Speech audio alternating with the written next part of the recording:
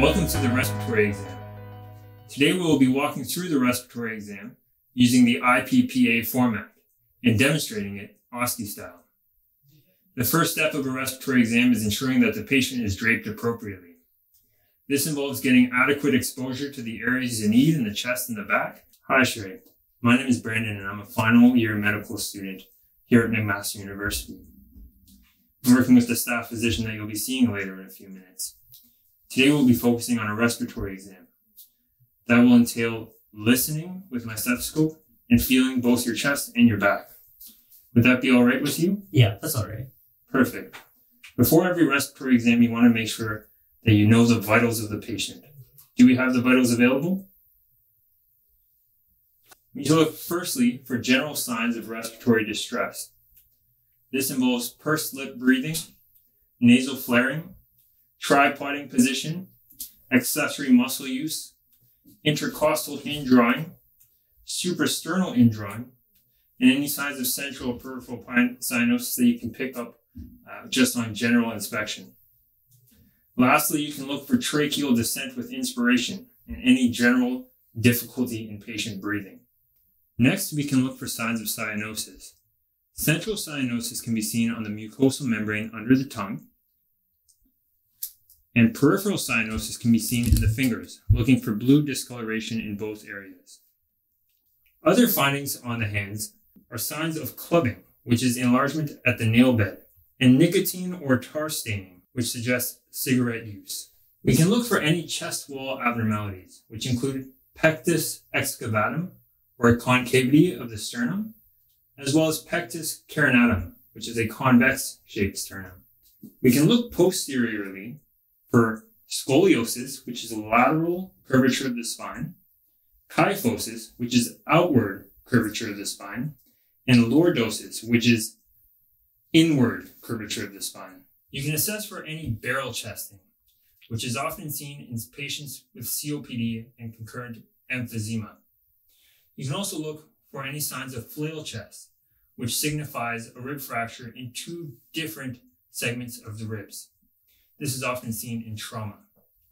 To conclude your exam, you can look for any signs of swelling, erythema, atrophy, or deformities that have not already been mentioned on inspection. Shrey, if it's all right with you, I'd like to perform the palpation part of the physical exam. Sure. Okay. Are there any areas of tenderness right now that I should be aware of? No. Okay. Then the first step is just going to be general palpation to assess for any signs of masses or irregularities in the chest.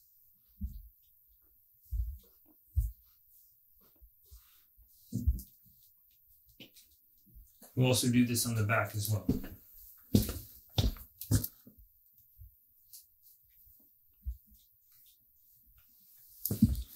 You want to verbalize that you don't feel any abnormalities.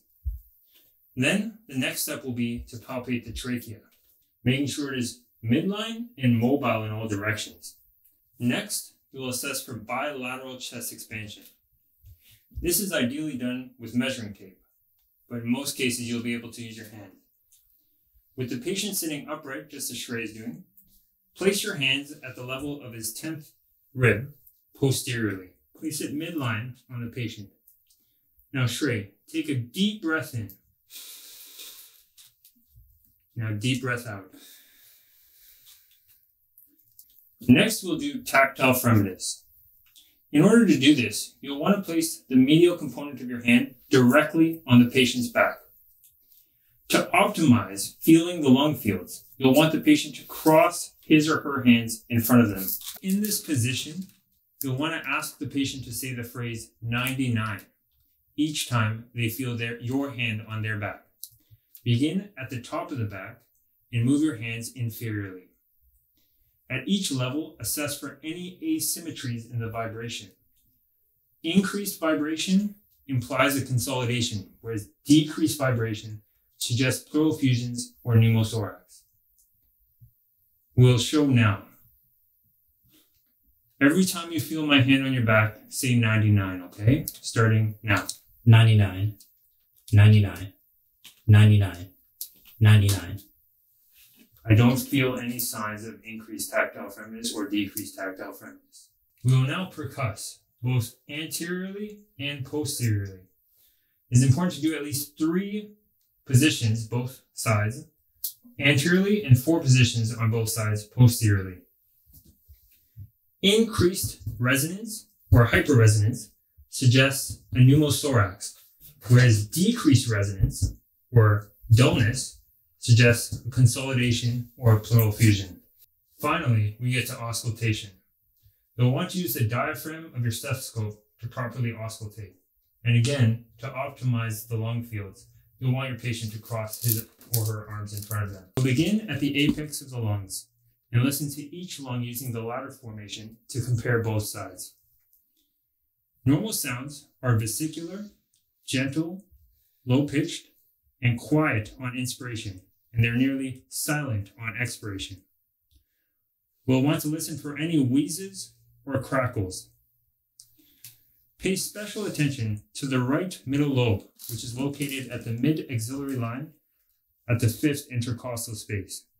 If you are suspicious of a consolidation, there are two special tests you can use to increase that suspicion.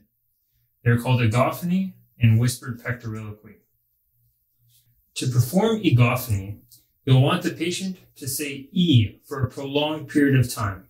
For example, E. You'll auscultate both anteriorly and posteriorly, listening for a transition of that sound to A in an area of consolidation. In all other locations of the chest, you should continue to hear the E sound. Shrey, can you please say E for me for a prolonged period of time? E.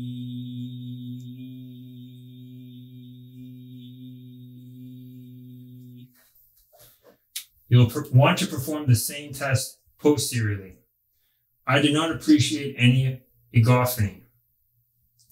The next special test is whispered pectoriloquy. You'll want the patient to whisper one, two, three, four, and basically count up as you're listening both anteriorly and posteriorly. The sound should be nearly silent on your stethoscope, but if you hear an increase in sound in a given location, it may suggest consolidation in that region. Shrey, will you please whisper uh, one, two, three, four, and then count up?